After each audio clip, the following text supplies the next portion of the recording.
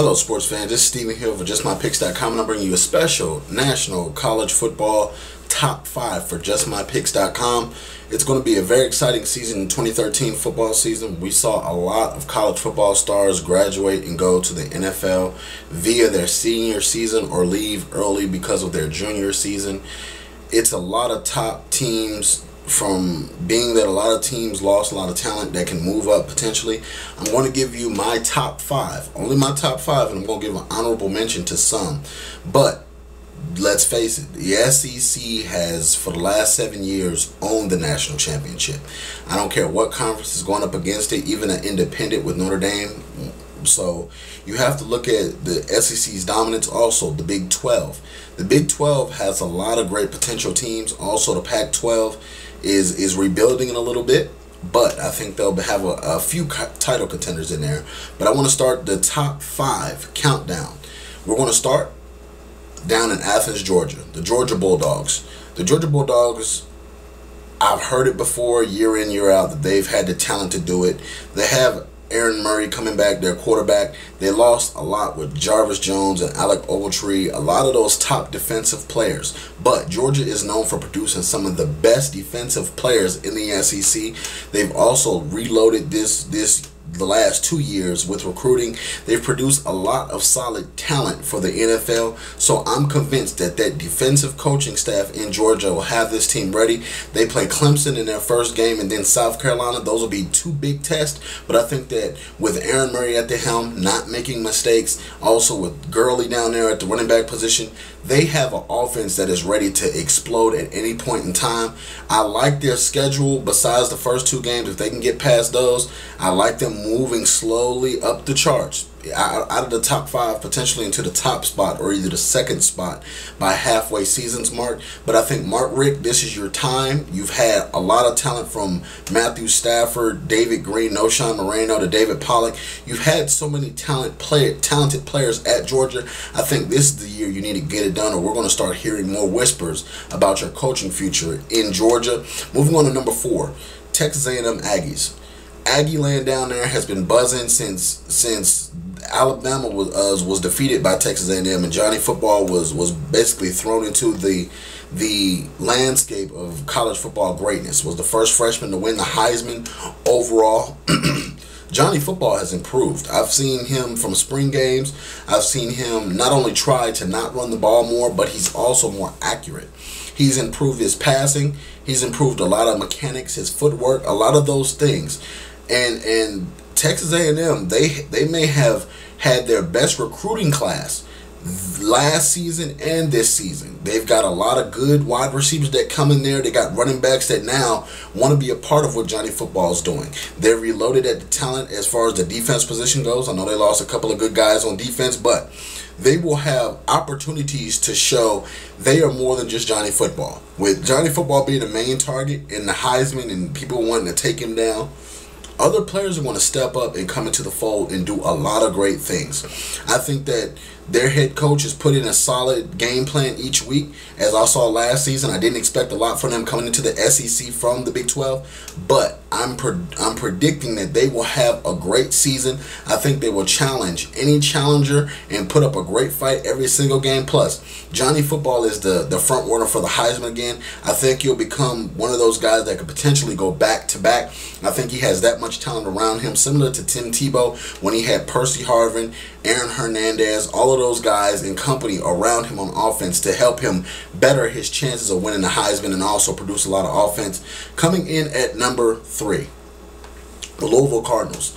Let's face it, Teddy Bridgewater put on a clinic in that uh, title game. I, have never seen a, a Louisville Cardinals team look so well you know, and they have a former assistant coach now that's a head coach that came from the University of Florida.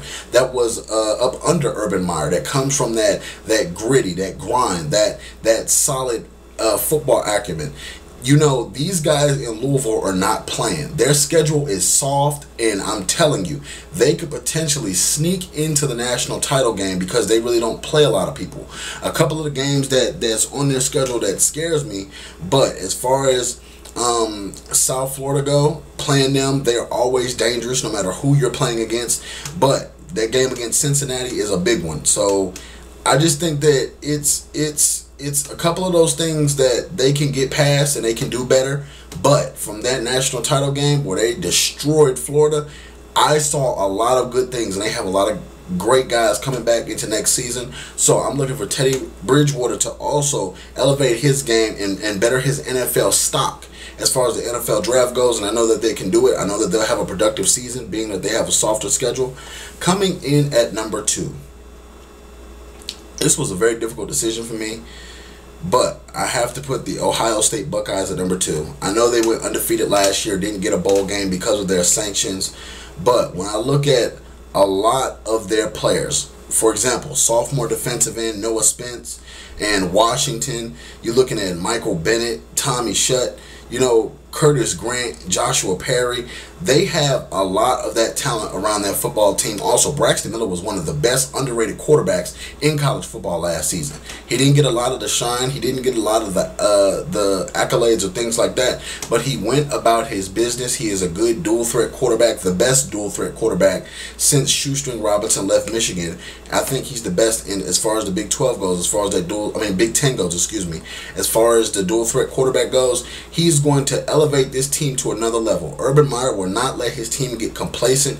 He will tell them, yes, you were undefeated last season, but that's last season. You no longer have that title this season. Everyone's going to be looking to put a blemish on your record at Ohio State, and I'm thinking that Ohio State has a great chance to get back to undefeated and potentially challenge for a national championship once all sanctions, penalties, and fines have been paid and levied. I think that this team will be the second best team in college football moving in and coming in at number one. You know, it's it's getting redundant. It's getting ridiculous at how much success this team's having. It's a machine. The University of Alabama in Tuscaloosa. Nick Saban is is preaching football. He is pumping out NFL talent to the NFL. He's also he's stockpiling recruiting they just signed one of the best quarterbacks, the best pocket passer in uh, high school recently this week. AJ McCarron and, and these guys, they're just going to keep getting better. Uh, that offensive line, they have girth, they have size, they are big, physical, nasty people that can really run the ball well and pass the ball well. The University of Alabama had had some scares against LSU and against um, losing to Johnny Football last season, but we've saw them bounce back. We've seen Saban be a master motivator. He's doing all the right things he needs to do to get his team pumped and ready to go each and every week. I'm picking the University of Alabama to not only possibly go undefeated next season, but I'm looking for Nick Saban to to to go and become. I think right now he's the greatest football coach in college football history.